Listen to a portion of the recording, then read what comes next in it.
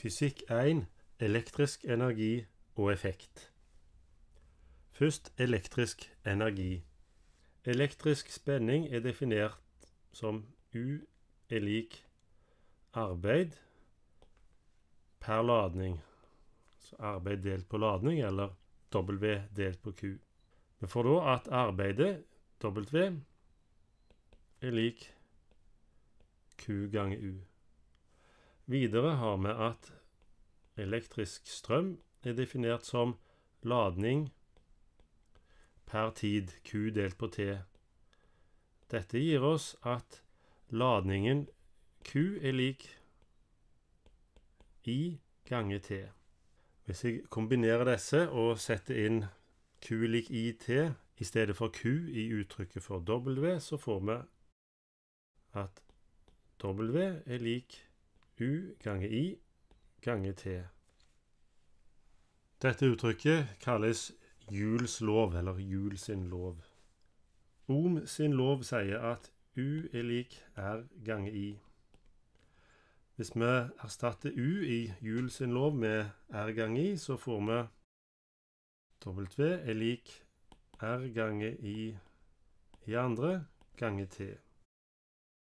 Ohms lov kan jo om, omformes til å bli I er lik U delt på R. Og hvis jeg setter dette inn i uttrykket for W opp forbi, så får vi at det elektriske arbeidet òg kan skrives som U i andre delt på R ganger T. Elektrisk effekt.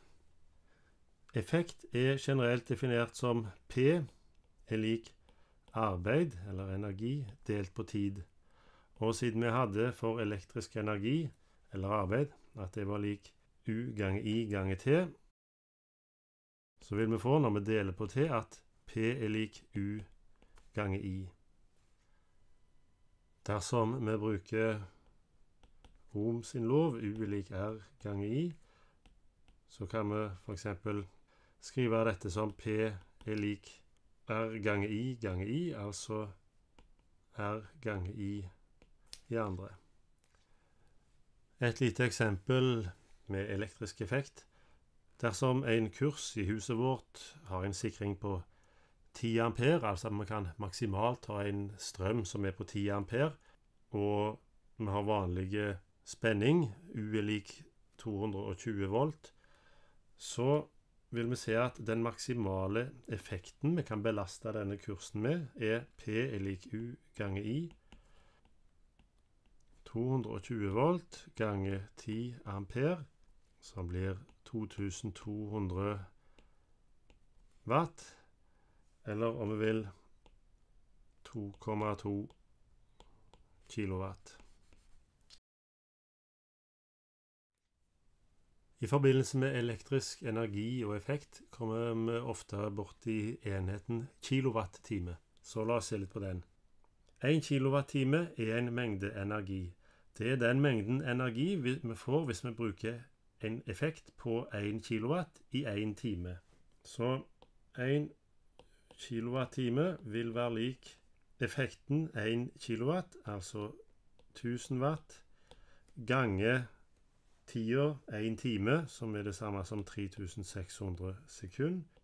Altså blir dette 3,6 ganger 10 i sjette hjul, eller om vi vil 3,6 megahjul.